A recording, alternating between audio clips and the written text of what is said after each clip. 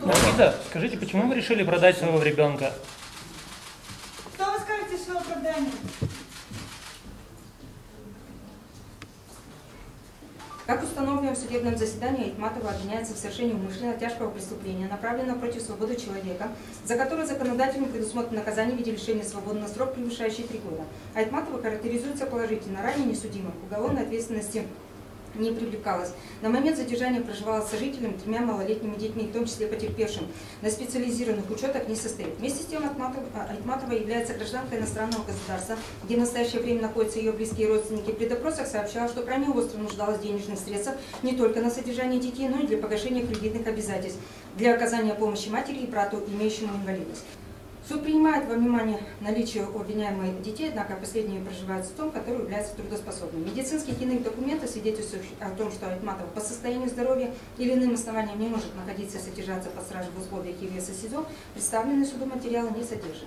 На основании изложенного руководства статьей 108 БК суд постановил избрать в отношении обвиняемой Айтматовой Энергизы 4 апреля 1986 года рождения меры пресечения в виде заключения под стражу сроком на 2 месяца 0 суток, то есть по 8 октября 2000 2022 года включительно.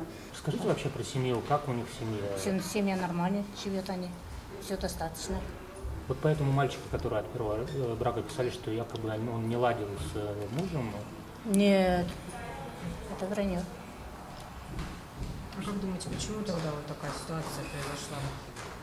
А, он сказал, вот у Наргиза родственники там в Киргизии, они все время звонят, деньги просят, у них кредиты, я не знаю про, про это. А потом решили, она, наверное, так. Я не знаю. То есть она хотела помочь своим родственникам? Да, да, да, да, да. А так они нормально живет. А сколько у них детей? Двое. Это между это Джумартом. А Джумарта с первым браком четверо. Общий шесть. А, всего шесть? Да. Это вот с этим мальчиком, которому Да. 7 лет? Да.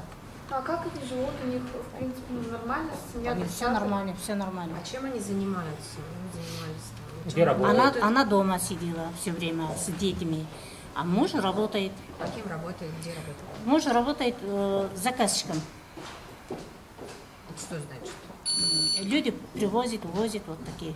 А, водитель, водитель. Водитель, да, водитель. Он нормальные деньги зарабатывает, но я не знаю. Она почему такая с- ситуация получилась ей. А вот этот мальчик, э, с которым такая ситуация произошла, он самый старший, получается? Или, или нет? Самый старший Он ребенок? Наргиз это самый старший, да. А От первого брака еще Да. старше дети. А когда вы последний раз вообще видели их, может быть, в гости у них были, общались с Ой. Наргизой? Неделю назад Неделю назад?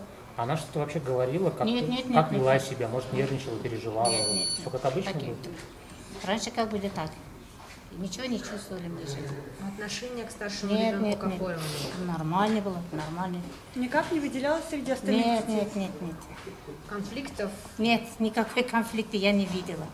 То есть такого, что отец не принимал ребенка от первого брака, от Наргизиного, такого не было? Нет. Судьба у ребенка пока остается следственной тайной. В настоящее время он проходит медицинское обследование в порядке, установленном законодательством. Можно какие-то данные о нем озвучить? Э, Какое у него состояние, как он себя? В настоящее время данные ребенка нельзя озвучить, поэтому именно по этой причине и конвенции, э, в общем, и конвенции ООН был закрыт процесс, в связи с чем я пока не могу разглашать эти данные. А Наргиза объясняла, почему она решила продать вот именно этого ребенка, а не, а не помладше вот, или девочку.